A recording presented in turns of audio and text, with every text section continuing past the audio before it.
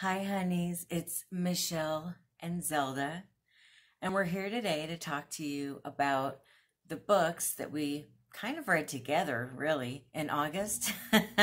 you know, she's always with me.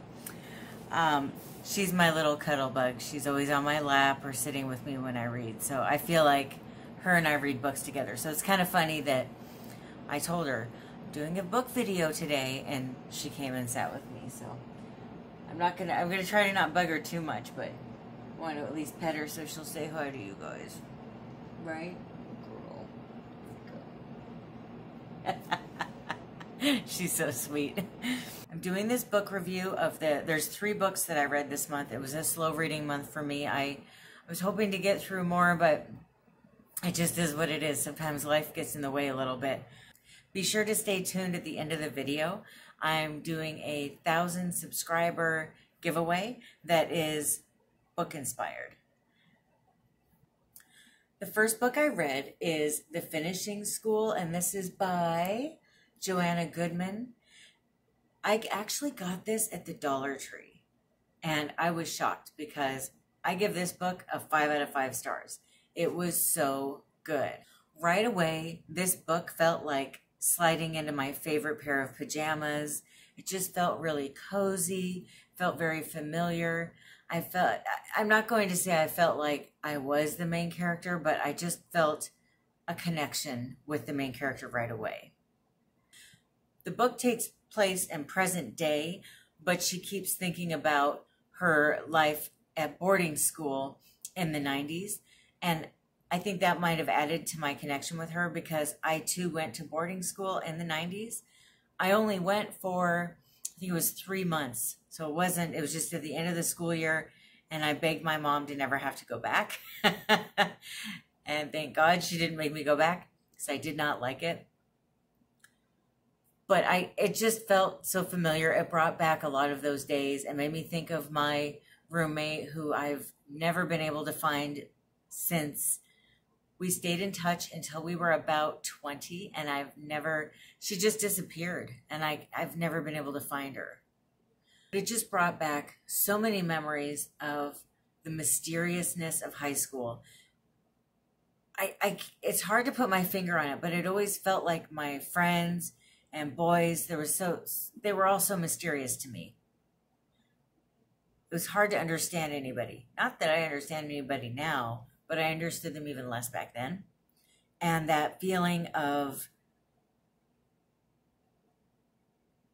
being flawed that I think all teenagers have. I mean, there's really something wrong with me. I don't fit in, right? That's how the main character felt also. And I think we've all had that friend at some point, especially probably in junior high or high school, where they were the popular pretty one and maybe you weren't which is always difficult because you kind of get swept aside for that person, right? There was a bunch of 90s references. Celine Dion, Joan Osborne. I know you remember Joan Osborne, right? What if God was one of us? That one? That, I mean, just, it was just so wonderful to be put back in the 90s again. So this boarding school is in Switzerland. So it's really interesting because it covers what it might be like to live there and what it might be like to be in a boarding school there as a teenager. The author is from Canada, and when the main character is in current time, she's in Canada. I believe it was Toronto. And I find that interesting too because I know we're not that far from Canada. I know we're neighbors. I spent a lot of time in Canada as a child, but it's still a different world to me and it's still a different culture. Um, so it's always interesting to read books written by authors who live in different cultures. I just like that. I like reading things that come from a different perspective. And I know they're still similar, but they're not the same, right? This book really stimulated the part of me that loves traveling. And it made me feel like I was traveling at a time when I can't really travel, which I loved. The last fourth of the book, it is mysterious, sizzling, exciting. It was really hard to put down. I do want to tell you this is, a, I want to give you a little bit of a trigger warning though. If you are easily triggered by rape or pedophilia, you might want to avoid reading this. Now, I found it to be very healing, actually, reading what I read, but I could see how it might really disturb some people. So I just kind of wanted to forewarn you. But I highly recommend this book. It is, uh, once again, it's The Finishing School by Joanna Goodman. The second book that I read was The Existence of Amy by Lana Grace Riva. This author sent this book to me and asked me to do a review on Goodreads, and I really wanted to go ahead and do an in-depth book review of it here on YouTube, and I and I did. So I will link that down below. But I also just I'll tell you quickly though with this one. This book is about a lady named Amy who struggles with anxiety, depression, OCD. If you or someone you know is struggling with those things and you either want to get them help or you want help, I really recommend reading this. If you know someone who struggles with uh, mental illness, it's good because it helps you understand mental illness and how to help people that have it. If you have mental illness and you read it, it will help you understand what you're feeling and, and how to get help. I just thought it was really good.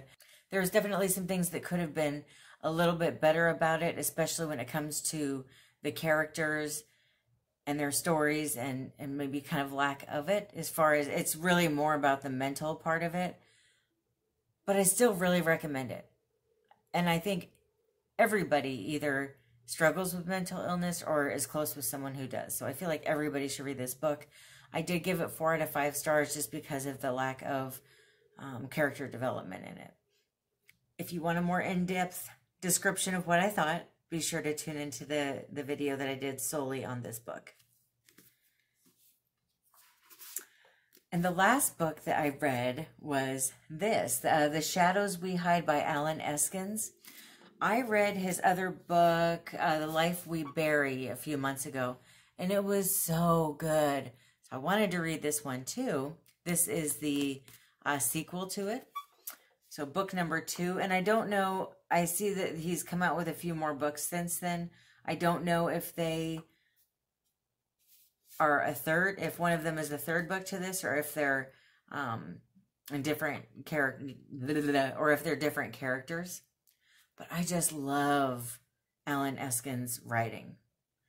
It is, it's just, it's amazing. I fell in love with this book within the first 10 pages. I just immediately was taken with it. I was thinking about it when I wasn't reading it. I really liked it. This book is about um, it's a, a journalist who he's never known who his dad is. And through a roundabout way, finds out that he might now know who his dad is, but he passed away and he might have been murdered. So he travels to this small town that his dad is from to find out if he is his dad and if he was murdered or not. So there's a lot of twists and turns, and then his personal life and his younger days all kind of tie into it. There's a lot of, there's an underlying theme in this book of redemption and forgiveness, which I love.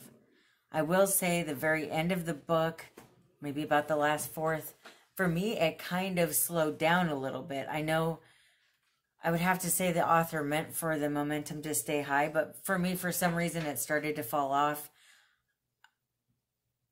I, I, I just wasn't sure that I really cared for the way it ended. Not the very ending, but just the, the whole chunk of the ending. Um, some of the who done it part and who actually did it kind of thing. Because there was multiple different crimes that took place it just didn't quite fit for for me. Regardless, I still thought it was a really good book. I give it four out of five stars. Um, and I just recommend this author. If you like thrillers, if you like mysteries, if you like things that are a little bit fast paced and, and trying to figure out what's going on, I really recommend it. He's also just such a good writer, just a beautiful writer. I love the way he writes things. Just to give you a quick example of how he draws me in right away. First page of the book, okay? I don't know when it happened, but at some point I got cocky. I stopped counting my faults and became charmed by the image I put forth for the rest of the world. A side of me that allows people to find their own kindness in my plight. I love it. Very heady and thoughtful. If you're a thinker and you like to ponder different things, this is the author for you. He's wonderful. And now I wanted to talk to you about the thousand subscriber giveaway. What I'm going to do, I'll show you what's in the giveaway. I'm going to take a photo of some of the items in the giveaway and I will post it on my Instagram page. Here's my handle up here. All you have to do is go to my Instagram page um, and in the comment section of the photo, leave an emoji of your favorite animal and that's how you enter. It's as simple as that. On Monday, I am going to be doing a vlog video and uh, my husband and I will put all the names into a hat and, and just draw one just nice and random and we'll do it on camera so you can see that it was fair and then whoever won I will send a direct message to on Instagram uh, to get your address so I can send it to you. So it's pretty simple and I just want to thank all of you for all of your support. It just means the absolute world to me. I love the connection that I've been getting with so many of you. And I know there's even more of you out there that maybe don't comment, but still watch every video. And I, I appreciate you too. And I, I just love this, this little family that we've been uh, creating in the last year and a half. So thank you so much. Okay. As far as the items go, um, I've got this LED clip-on book light and I have one and I love it. It's wonderful. So I, I didn't want to get anything for you that I didn't already know was wonderful. But I really think that you'll like this. Some, not all, but some of these items are from the Dollar Tree. As many of you know, I shop there a lot. And um, it, it only made sense to me to get some things there that, that I love. Um, so I've got this little portfolio here that has post-it notes in it. It's just wonderful, and it's got this little Velcro here so that you can, when you take the plastic off, you can keep it closed and everything. I will forewarn you, the sticky notes, they're okay. They're not, I mean, they work, especially if you're marking the pages of a book, you know, with these, or you're um, marking recipes that you want to try or something like that. But these sticky notes here, this stick on them, it's it's okay. It's not good. It's not not like the actual um, post-it notes brand. So I just I want to be really transparent and honest with you that these ones are okay, but they're they're cute and they're nice. And you know, if you want them to stick on something, maybe just uh, use a little tape or something. I got some of these zebra mechanical pencils. I just think these are so beautiful.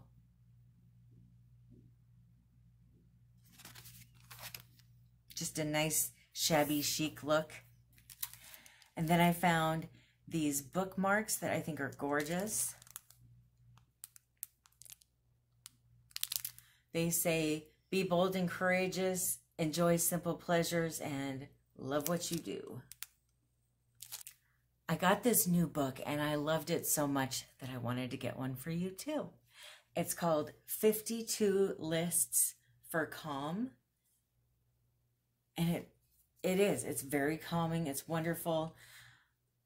If um, if you're interested in this, this author, uh, Moorea Seal, she makes quite a few of. She's made quite a few of these, um, with different themes and, and such.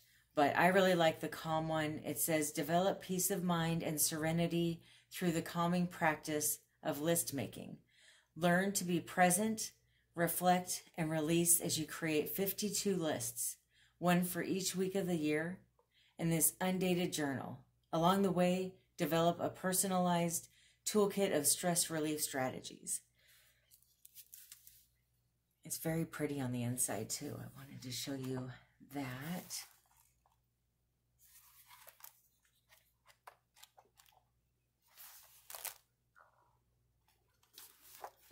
And it's got this velvet bookmark in here. I don't know if you can tell. There you go. Okay. And I didn't get too far into this when I just fell in love with it and wanted to get one for you guys. But it's important to read the beginning. There's about four pages of explaining what the book is and how to use it. And then there's a list of all the different lists. Of course, she would have a list of all the lists, right? oh, I love this. It's so pretty. Just looking at it calms me down. But there is... Now, I don't do one list a week. I do a list whenever I just feel like I need a little bit of help calming down. But one that I particularly like so far is on page 18. Take one minute to focus and check in with each of your senses. What do you feel? What do you smell, hear, taste, and see? List everything you can sense right in this moment. It sounds sort of silly, but when I did it, it got my mind off of what was giving me anxiety in that moment. And I tried it again a few days later, and it, it worked like magic again. So I was excited that already on page 18, something in the book actually helped me calm down, and it's something I want to do regularly. So I'm, I'm really excited about this book. I think it's just wonderful. And I will put a uh, link to this in the description box in case you aren't interested in entering or maybe you don't win but you want to get one or you want to see the other list books that she has. So I'll put that down there.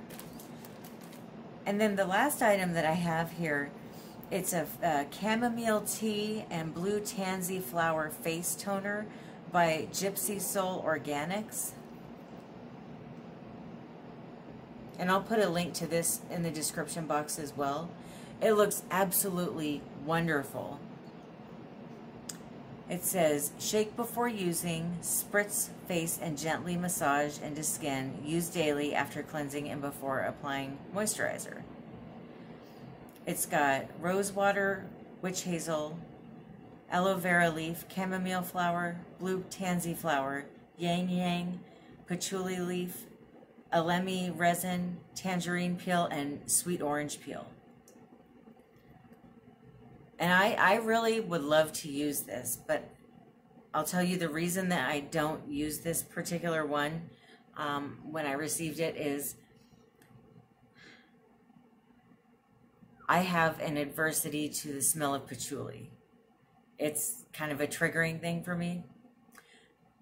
So, but I wanted to, to uh, send it to, to you guys because the ingredients are so good and I think that it might be a really nice product. So I still wanted to at least share it with, with somebody that maybe doesn't have an, an issue with that scent. Um, now it is, just to, to show you here, it's filled to about here. Now I have not used it or anything, but I did smell it. But just in case you went in and you get it and you're wondering why it's to there. I'm not really sure, but that's how much is in the actual bottle. So just to let you know. That is it for my book review haul. I'm hoping that I will get to read some more books in September.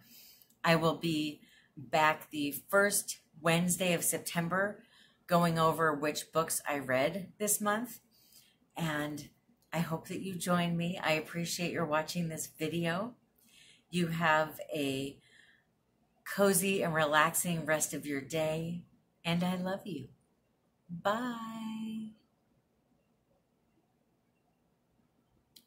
I don't I don't want to wake her up. She's snoring back there. So I'm not going to have her say bye, but Zelda says bye too.